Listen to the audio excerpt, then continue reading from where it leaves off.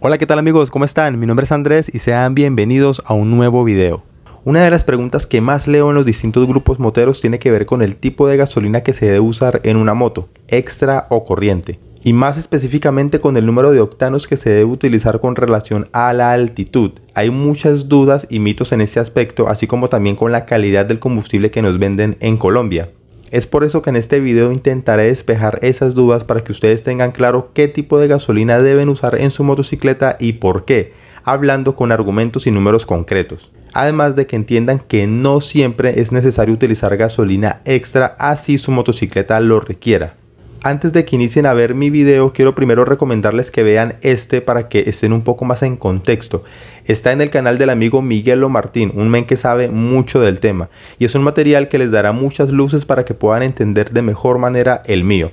Es un video más teórico y que analiza a profundidad conceptos como la gasolina y sus componentes, medidas AKI, RON, MON, relación de compresión de los motores, entre otros. No explicaré estos temas aquí, primero porque el compa ya lo hizo de la mejor manera y segundo porque no quiero que el video sea tan largo y quiero centrarme en otros aspectos. Lo primero que deben saber es qué tipo de combustible nos venden aquí en Colombia. Y para eso quiero mostrarles la última resolución del Ministerio de Minas, la 40103 del 7 de abril del 2021, que dice lo siguiente por la cual se establecen los parámetros y requisitos de calidad del combustible diésel ACPM, los biocombustibles para uso en motores de encendido por compresión como componentes de mezcla en procesos de combustión y de sus mezclas, y de las gasolinas básicas y gasolinas oxigenadas con etanol adherido, combustible para uso en motores de encendido por chispa y se adoptan otras disposiciones. En esta resolución hay dos temas importantes y muy puntuales para este video. Número 1 se aclara que el octanaje se definirá en términos del parámetro RON y ya no en términos AKI, que era como se usaba anteriormente. Estas siglas que quieren decir son como dos escalas o estándares de medida y se utilizan para medir el octanaje del combustible. Los invito a que en este momento busquen el manual de su motocicleta y vayan a la parte en donde les muestren qué octanaje les recomienda la marca para su moto. Seguramente estará en AKI o en RON. Si están 91 octanos aquí, por ejemplo, para pasarlo a RON simplemente deben sumarle 4 unidades. Es decir que quedaría con 95 octanos y ese sería el valor RON. Número 2, y este punto es muy importante, se estipulan los requisitos de calidad de las gasolinas. Las estaciones deberán vender gasolina corriente con mínimo 89 octanos y gasolina extra con mínimo 97 octanos, como lo evidencia esta tabla. Ahora bien, que todas lo hagan, no sé, pero así lo exige la ley y supongo que eso debe estar vigilado por el Ministerio de Minas. En todo caso, partamos de esta base. Lo siguiente que deben saber es cuál es el octanaje mínimo que les exige el fabricante. Ese dato lo encuentran en el manual de la motocicleta. Si no lo tienen pueden buscarlo en Google o en los grupos de Facebook. Aquí tengo la información de algunas motocicletas y vamos a determinar qué tipo de gasolina requieren. Ojalá parezca la de ustedes. Tenemos en un primer ejemplo a la Suzuki Gixxer 250. Eh, requiere una gasolina de 91 octanos aquí según manual, es decir 95 RON, porque recuerden que para pasar la RON hay que subirle 4 unidades, entonces requeriría una gasolina de 95 octanos RON. Acá no especifica si es AKI o RON, pero teniendo en cuenta que anteriormente en Colombia se utilizaba el estándar AKI, pues supongamos que es aquí, ¿no? Entonces 91 octanos AKI, si lo pasamos a RON le sumamos 4 unidades y quedarían 95 octanos RON. Esta motocicleta tiene una relación de compresión de 10.7 a 1.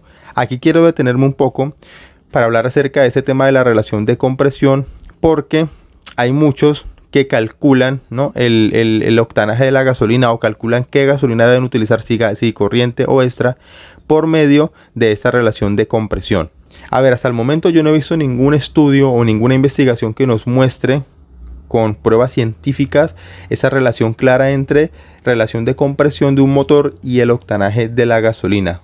Yo no lo he encontrado, si alguno de ustedes conoce algún estudio, me lo puede presentar o me lo puede citar aquí en este video.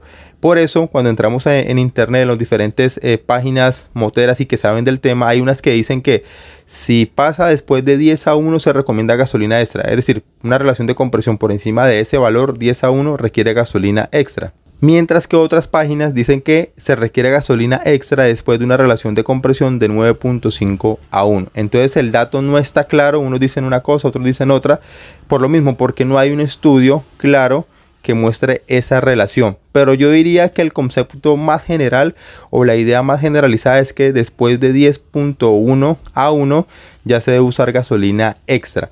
Eso es lo que más encuentra uno en las distintas páginas o revistas moteras.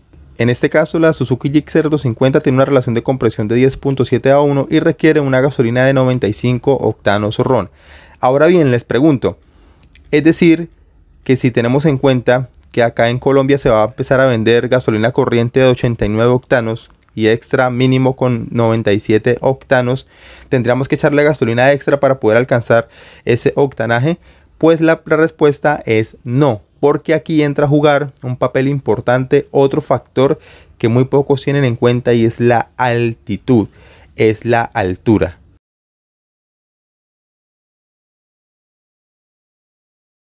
Porque, ojo, a mayor altitud la gasolina se comporta como una gasolina de mayor octanaje, porque hay menos presión y menos oxígeno. Es decir, es más difícil que se preencienda y estalle antes de tiempo. O mejor dicho, es más difícil que se presente la famosa predetonación.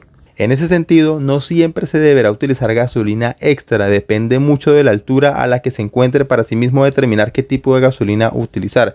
Hay gente que está a una altitud muy arriba, Bogotá, Tunja, Pasto, las ciudades muy frías que utilizan gasolina extra y la verdad están perdiendo el dinero porque no es necesario.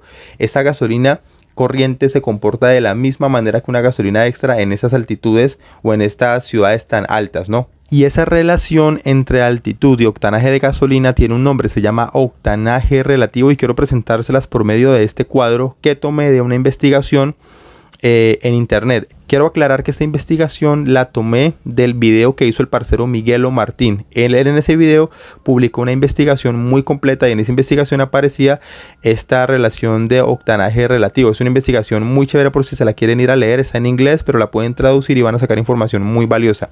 En la descripción de este video yo les voy a dejar el enlace por si quieren ir a, ir a leerla. Miremos este ejemplo con la Gixxer. A 1300 metros sobre el nivel del mar, la gasolina de 87 octanos, que es la corriente, se comporta como una de 95 octanos. Aquí les voy a trazar una línea para que ustedes mismos vean esta relación. Una gasolina de 87 octanos se comporta a 1300 metros sobre el nivel del mar, más o menos como una gasolina de 95 octanos. Es decir, que si usted vive a esa altitud o por encima de ella, puede usar gasolina corriente sin ningún problema y ahorrarse ese dinero. Pero ojo, si usted vive en ciudades sobre el nivel del mar o por debajo de esa altitud, hablo de ciudades como Cartagena, Santa Marta, Barranquilla, Montería, que son ciudades muy bajas, sí o sí debe utilizar gasolina extra y no hay discusión para evitar la predetonación en el motor, ese cascabeleo molesto y muy nocivo para el mismo y que obviamente trae problemas graves a largo plazo. Acá tenemos otro ejemplo a la Honda XRE 300 que según su manual requiere una gasolina de 91 octanos como mínimo, con una relación de compresión de 9.0 a 1. Y esto en lo personal es algo que me gusta mucho de estos modelos Honda XRE porque tienen una relación de compresión muy baja, no son motores que requieren o que exigen gasolina con tanto octanaje. En este caso ustedes pueden echarle gasolina corriente si viven a una altitud de 700 metros sobre el nivel del mar o superior a esto. La Benelli RK 502 requiere una gasolina de 95 octanos RON, también como la Gixxer 250, con una relación de compresión de 11.5 a 1. Y al igual que la Gixxer le pueden echar gasolina corriente después de los 1300 metros sobre el nivel del mar. Otro ejemplo muy conocido en el país, la Royal Enfield Himalayan, una moto por la que ustedes me preguntan bastante. Y algo muy bueno de esta moto, o de la, casi la mayoría de motos de Royal Enfield, es que manejan una relación de compresión muy baja. En este caso es de 9.5 a 1 y requiere una gasolina de tan solo 84 octanos. Es decir, que podemos echarle gasolina corriente en cualquier altitud, sea al nivel del mar, sea 500, 1000, 2000, en cualquier altitud le podemos echar gasolina corriente y esa es una de las grandes ventajas de esta motocicleta y más si tenemos en cuenta que es una moto para viajar, ¿no? Tenemos aquí un ejemplo con una motocicleta de bajo cilindraje, la TBS Rider 125, que para hacer una 125 tiene una relación de compresión pues bien arriba y está como sobre el límite, 10.0 a 1 y requiere según manual una gasolina de 92 octanos RON. Es decir, que se le puede echar gasolina corriente después de los 800 metros sobre el nivel del mar. La KTM Adventure 250 también requiere una gasolina de 95 octanos RON, una relación de comprensión bastante alta y eh, se le puede echar corriente después de los 1000 metros sobre el nivel del mar. Mi Suzuki GZ150, que es la moto que yo tengo, eh, afortunadamente uno de los puntos positivos de esta moto es que su relación de compresión es muy baja, 8.9 a 1, y solamente requiere una gasolina de 82 octanos aquí, es decir, 86 RON según manual. Eh, esto quiere decir que le puedo echar gasolina corriente en cualquier altitud y no tendré ningún problema. Casi la mayoría, por no decir todas, pero casi la mayoría de motocicletas de bajo cilindraje hasta los 150 centímetros cúbicos, 100, 125, 150, motos de trabajo, motos utilitarias, se les puede echar gasolina corriente sin ningún problema porque tienen relaciones de compresión muy baja. He escuchado por ahí a gente que le echa la GN extra, la Discover extra y lo único que hacen es perder el dinero porque la moto no va a correr más, ni va a limpiar el motor, ni el motor va a ser más eficiente, no, no van a tener ninguna ventaja en comparación con una gasolina corriente. Entonces ya saben, motocicletas de bajo cilindraje, no digo todas porque la excepción por ejemplo podría ser la Rider que tiene una relación de comprensión siempre altica, pero casi la mayoría de motos de bajo cilindraje requieren gasolina corriente, así que no gasten su dinero innecesariamente.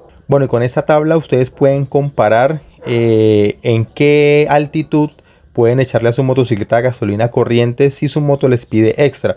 Si les pide una gasolina de 94, 95, pues miren esa tabla, miren el manual y hagan el cálculo dependiendo de la altitud. Pero como se dieron cuenta, no siempre, no siempre es necesario utilizar gasolina extra. Depende mucho de la altitud, muchachos. No gasten su plata y tengan muy en cuenta este cuadro para que sepan hacer esa relación. Otra de las preguntas comunes que surgen en torno a este tema es si se puede mezclar gasolina extra con gasolina corriente para aliviar un poco el bolsillo, el gasto, porque la gasolina extra está muy costosita. Eh, no encontré tampoco una investigación ni un artículo serio que hablara sobre este tema, pero muchas páginas moteras, muchas revistas coinciden en que no hay ningún problema en combinar ambos octanajes y que se obtendrá un promedio. Por ejemplo, le leo aquí lo que encontré en una de las páginas. Dice, si bien lo ideal es utilizar la gasolina indicada por el fabricante, no hay ningún problema en combinar ambos octanajes. Por ejemplo, si la gasolina super, la gasolina eh, corriente es de 90 octanos y la extra de 96, tanqueando la mitad de cada mezcla obtendremos aproximadamente un nuevo octanaje de 92 octanos.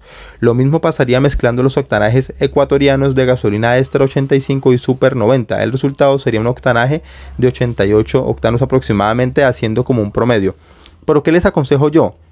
Que si ustedes se encuentran altitudes altas por encima de los 1500, 2000 metros sobre el nivel del mar, no es necesario que hagan, eh, que hagan este refajo o esta combinación, porque como les mostré en la tabla de, de, octanaje relativo, la gasolina corriente se comportará perfectamente como una gasolina extra o de mayor octanaje. Entonces no creo que sea necesario, sobre todo para las personas que viven muy arriba, en ciudades como Bogotá, Tunja, perfectamente en cualquier motocicleta pueden utilizar gasolina corriente. Ahora bien, si usted se encuentra en ciudades sobre el nivel del mar o muy con una altitud muy baja, sí es recomendable que haga esta, esta combinación.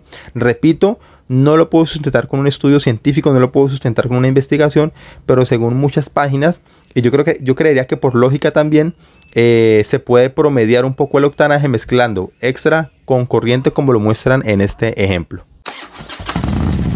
Bueno amigos, hasta aquí este video, espero les haya gustado y que por supuesto les sea de mucha utilidad. Si ustedes tienen o conocen más información sobre este tema y quieren complementar este video, lo pueden hacer aquí en la caja de comentarios. No olviden suscribirse y si les gustó este video, darle me gusta, compartirlo y comentarlo también para que me dejen saber qué tal les pareció. Nos vemos en una próxima ocasión y buenas rutas.